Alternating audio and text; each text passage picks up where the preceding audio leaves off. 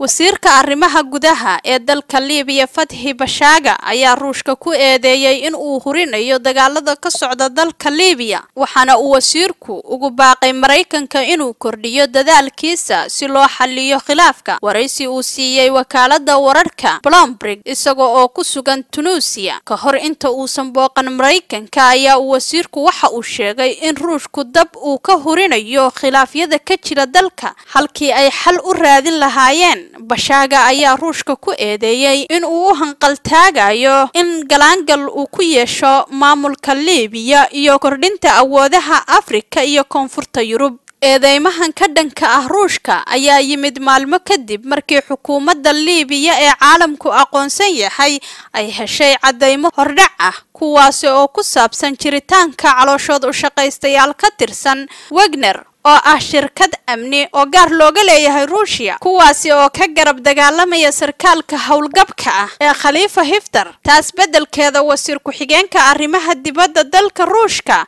ayaa khamiistii beeniyey xaqiiqada wararka ay qaadaadhigayaan saxaafadda maraykanka ee ku saabsan jiritaanka calooshoodu shaqaystayaal ruush ah oo ku sugan liibiya isagoo ku tilmaamay eedeymo waxba kama jiraan ah. Laga soo bilaabo afartii abril ee sannadkii hore tripoli iyo nawaaxigeeda ayaa marti u ahayd dagaallo u dhexeeya xukuumadda caalamku aqoonsan yahay iyo xoogaga khaliifa hiftar